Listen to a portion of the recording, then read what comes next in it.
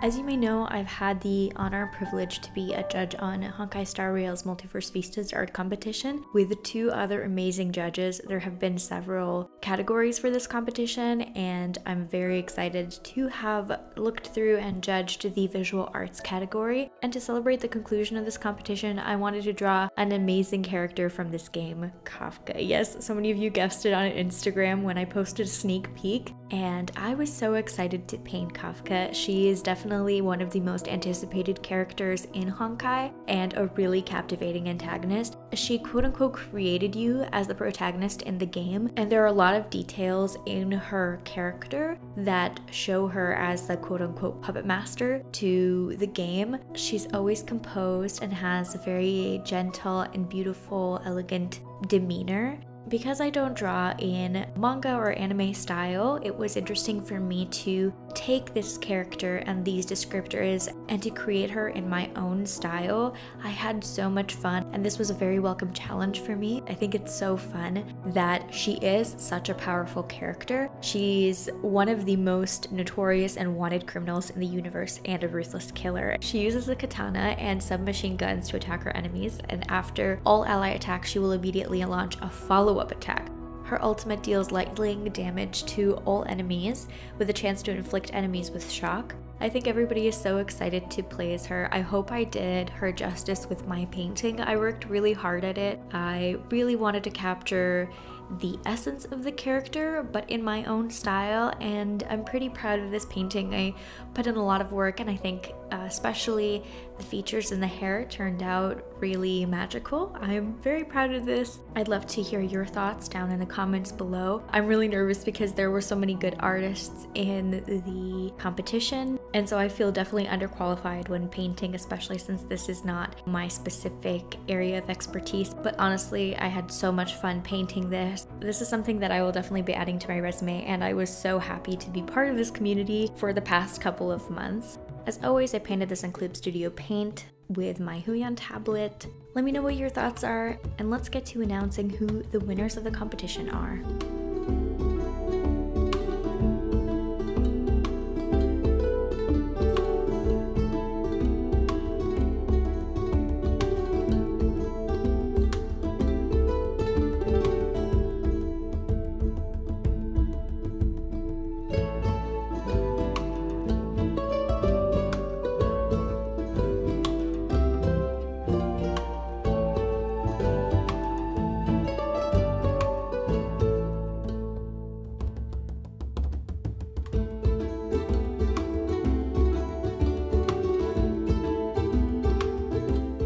Seriously so incredibly honored to be judging part of the visual arts category of this competition. I was so shocked when I saw all of the artwork that was submitted. So much of it took dozens of hours to create, it was so beautiful, so technically proficient, and I was personally really humbled to be a judge because some of these pieces I think were so much technically better than even my work. I was so honored to be part of the judging, and I would love to show you the three pieces and announce the winners of the competition.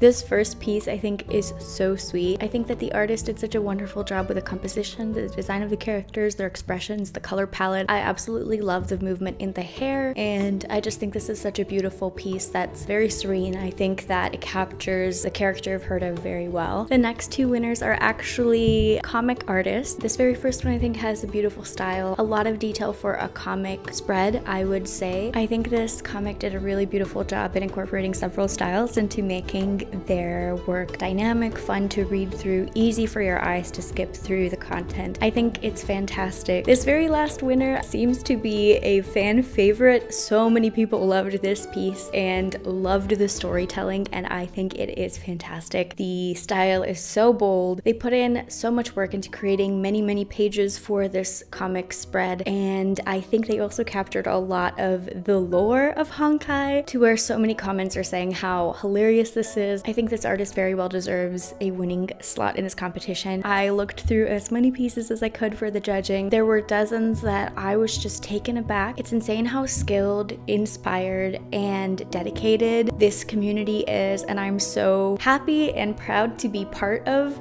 this judging and also just this experience. I think it's always lovely to be part of such a large community and to see so many people enjoying this game. I hope you also enjoyed my artwork for this video. Thank you so much to Honkai Star Rail for sponsoring this video and allowing me to be part of the judging and part of this competition. This is definitely a dream sponsorship and I would absolutely love to work with Honkai Star Rail again or just in general Hoyoverse. It was such a fun experience for me personally. I hope you enjoy this video, enjoy the artwork, and we're excited to see the winners of the Multiverse Vistas competition.